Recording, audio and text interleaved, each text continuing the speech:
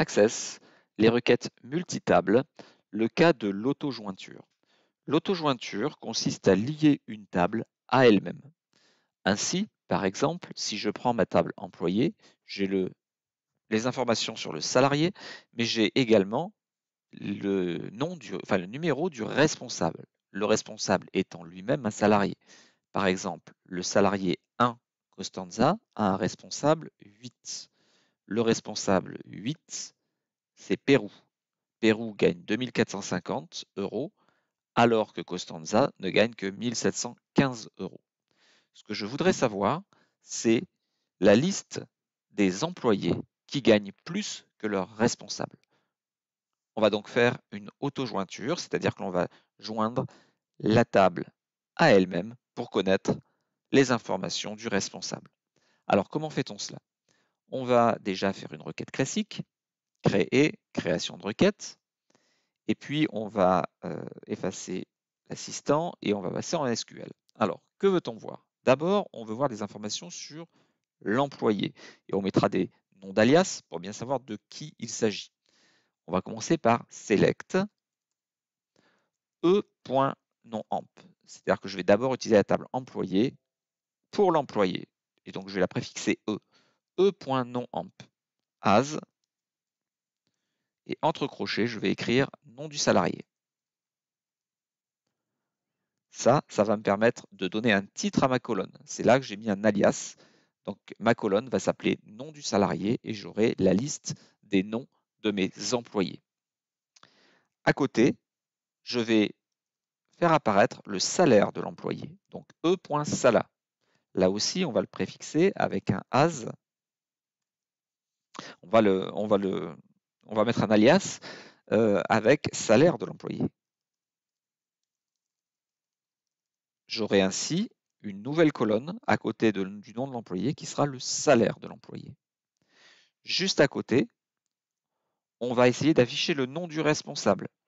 Donc on va prendre une table R qu'on appellera responsable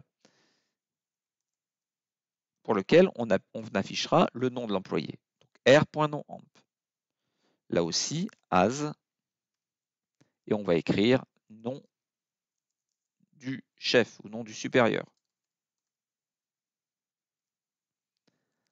Virgule, et on va vérifier avec le salaire du supérieur, comme ça on verra que toutes les personnes qui apparaîtront auront un supérieur qui gagne moins qu'eux.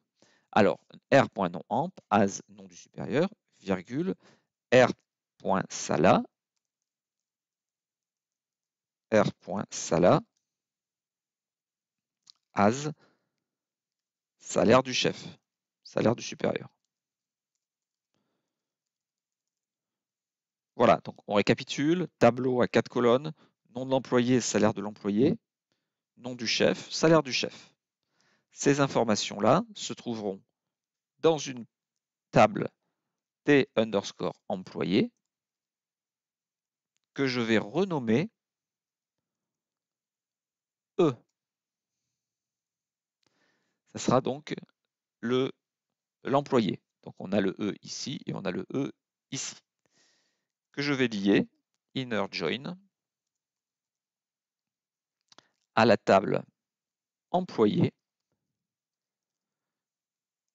que je vais renommer R pour responsable, pour afficher le nom du responsable et le salaire du responsable. Il nous faut maintenant faire la condition de jointure on et on va dire que la condition de jointure, elle va se faire sur le e.noamp est égal à non r.noamp, pardon, le, le numéro d'employé du responsable, c'est égal au numéro de responsable dans la table d'employés. Donc r.noamp est égal à e.noresp. Bien entendu, je ne veux pas voir tout le monde. Je vais demander à n'afficher les informations que lorsque le salaire de l'employé est supérieur au salaire du responsable. Where e.sala est supérieur à r.sala. Cela devrait donc fonctionner. Donc j'ai 5 personnes, Moreno à 1000 euros, le chef Durand à 0. Pérou à 2450, son chef 2200. Colin 2700, son chef 2200. Donc nous avons bien affiché que les informations pour lesquelles les employés ont un salaire supérieur à leur chef.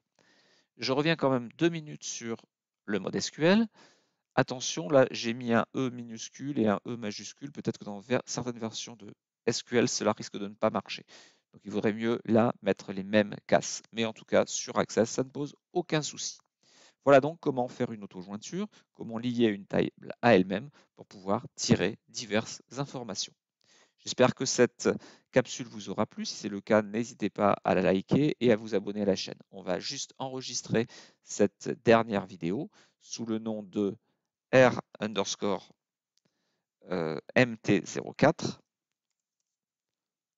Voilà. Et nous allons en refaire une seconde à peu près du même type parce que c'est quand même pas très très évident. Donc il vaut mieux en avoir deux pour bien comprendre le concept. À très bientôt.